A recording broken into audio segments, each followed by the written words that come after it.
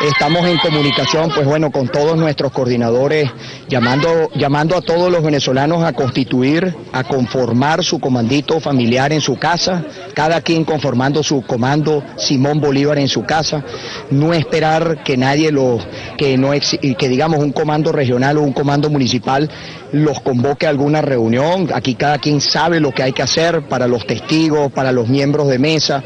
El próximo lunes vamos a tener un encuentro tanto con la prensa nacional como internacional, este, este próximo lunes, una vez que finalice pues la Semana Santa.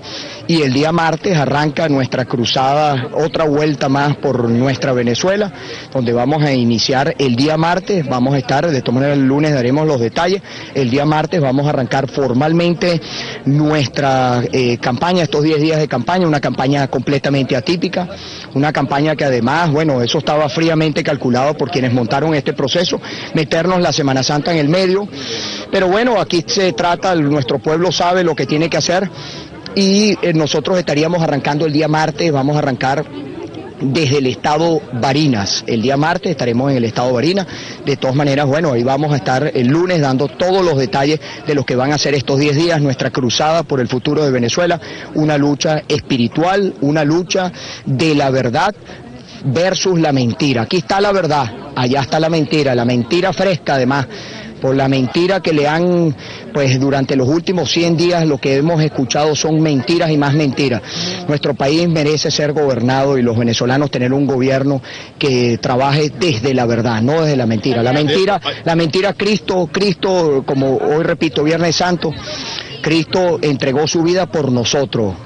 Y, y, siempre con la verdad delante. Nos toca a nosotros, nos toca a nosotros, repito, recordar y lo que fue el sacrificio de nuestro Señor y sacar a nuestro país adelante siempre con la verdad, nunca utilizando la mentira, nunca manipulando, eh, menos con el tema de la muerte, ni esconderse detrás de la imagen del presidente de la República. Aquí hay dos candidatos, hay dos visiones, una visión que en este momento la estamos viviendo y padeciendo los venezolanos, más inflación, más violencia, más escasez, menos oportunidades, las misiones empiezan a frenar.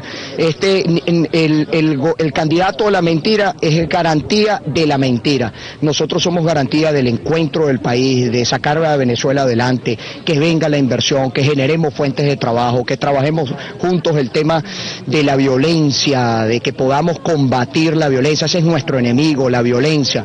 Aquí no es pueblo versus pueblo, aquí es eh, la verdad versus la mentira, la honestidad versus la corrupción, la justicia frente a la injusticia. De eso se trata este proyecto que estamos construyendo y que este proyecto además yo lo convoco a todos los venezolanos a que nos ayuden a construirlo entre todos.